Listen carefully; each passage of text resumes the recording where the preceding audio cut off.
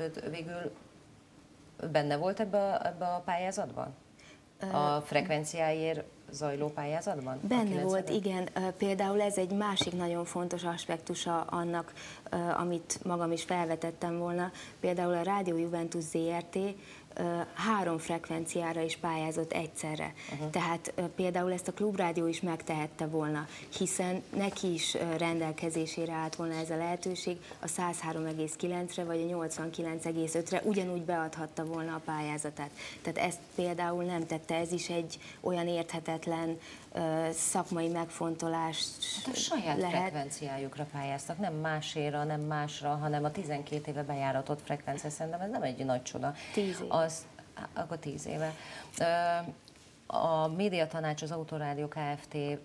műsortervének a szubjektív értékelésében azt, tehát ebben a szubjektív értékelésben egyébként a Klubrádió magasabb pontot kapott, de az Autorádiónál azt emelték ki, és azt értékelték, hogy nagyon kiemelkedő, hogy, hogy a hazánkban, tehát fővárost, Budapest szeretnék nagyon aktívan bemutatni, hazánkba érkező turistáknak akár külföldi nyelven híreket is mondani, tehát hogy ez egy pozitívum volt.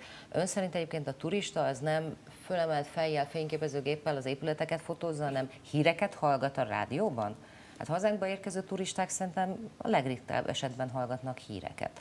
Reméljük, hogy fognak majd, hogyha szerződést köthet majd az autórádió, de egyébként ez az észrevétel, hogy a szubjektív szempontokat hogyan értékelte a médiatanács, ez a klubrádiónak is szemet szúrt, és ennek megfelelően ki fogjuk egészíteni azt a határozatot egy nagyon részletes indokolással, amelyet ön most a kezében tart.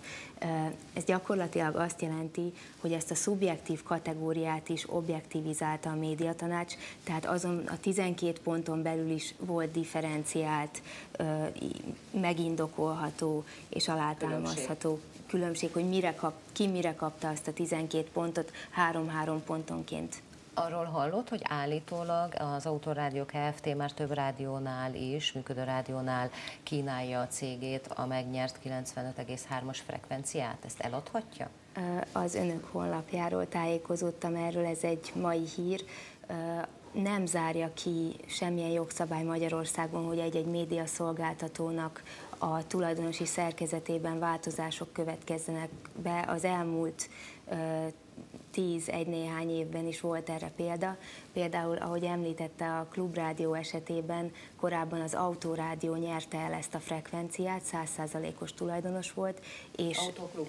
A, autoklub, és uh, utána két évvel uh, nyert tulajdont 90%-ban a jelenlegi Tulajdonos. ZRT. Jó, az rendben van, de hát ez az Autorádió Kft. meg se szólal. Tehát, hogy Igen, ez egy... Ö, pontosan ez is egy olyan észrevétel, ami nagyon helytálló, nem árulhat olyasmit, akinek még nincs ez a tulajdonában. A médiatanács még nem kötött szerződést az Autorádió Kft-vel, ezért Tehát most még nem adhatja, nem adhatja el.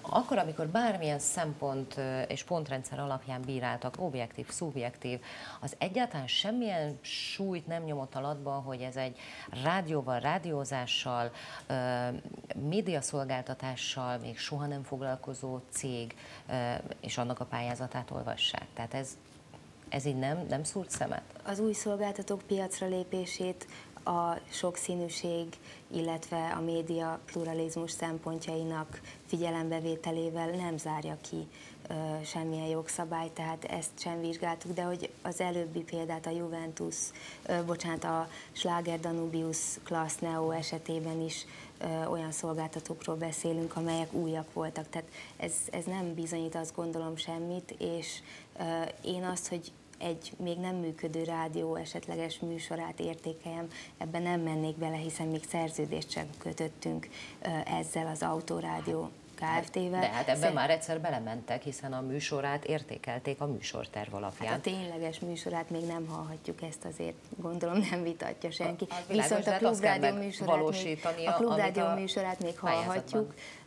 ami viszont Hát sok helyen nem így jelenik meg, mert azt mondják, hogy betiltották a Meddig rádiót. a klubrádió?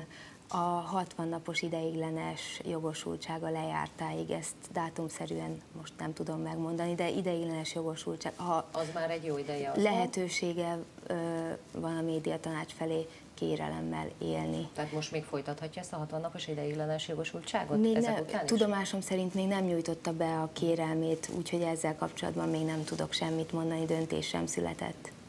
Ö, ugye Ma az Európai Unió illetékes biztosa is foglalkozott ezzel. Önök azt nyilatkozták, hogy felajánlották a segítségüket, de nem fogadta el.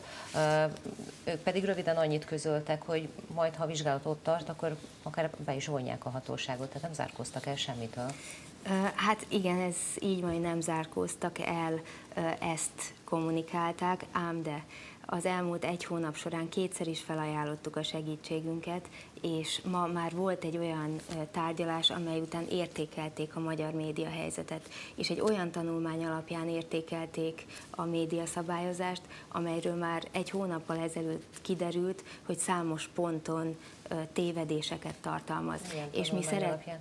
a Közép-Európai Egyetem által készített tanulmány, a CEU, CEU-s tanulmány röviden, egy körülbelül 200 oldalas írás, amely a magyar kormány tavalyi évi nyilatkozatai alapján hasonlította az össze néhány ponton a jogszabályt, tehát nem is az egészet, és ebben tévedések voltak, például a bírósági felülvizsgálattal kapcsolatos tévedést. Most a munkacsoportot vezető Freiberga asszony megismételte. Tehát ismét egy olyan állítás került a köztudatba, amelyet, hogyha meghallgatnak minket, akkor ott azonnal cáfoltunk volna. Egyébként eljutattok hozzájuk azt a tanulmányt, amelyet mi készítettünk, akkor természetesen nem csak magyar nyelven. Fogják forgatni.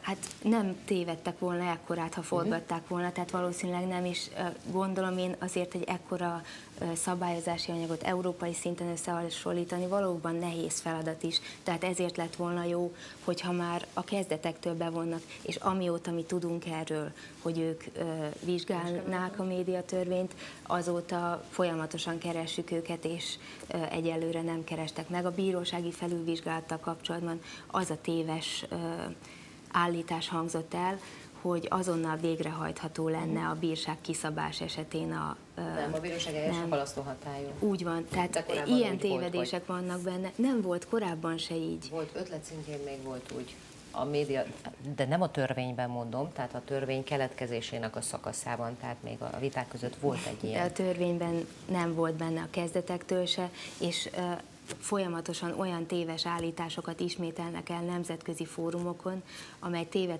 állítások azt a látszatot kelthetik, hogy ö, a sajtószabadság korlátozott Magyarországon, és ezt határozottan cáfolom, illetve jogilag is alá lehet támasztani, Hát, és ezért tudja, más a jog, meg más a, a sok esetben a valóság, úgyhogy egyáltalán nem baj, ha nincs takargatni valónk, akkor nem baj, ha egy ilyen bizottság vizsgálódik, és szerintem előbb-utóbb úgyis egymásra. szerintünk se baj, és reméljük egymásra találunk. Köszönöm, hogy itt volt. Köszönöm szépen!